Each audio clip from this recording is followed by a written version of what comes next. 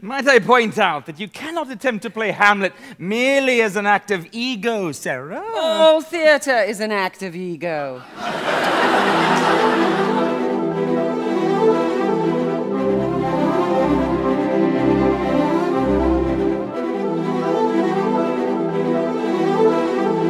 They don't come to see Hamlet.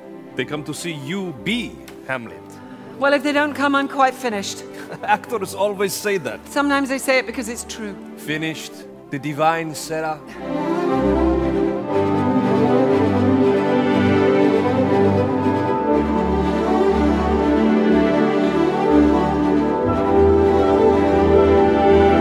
I do know it's a gamble. Hamlet is more than a gamble. Hamlet is life! What does that mean? I don't know, it means what it means.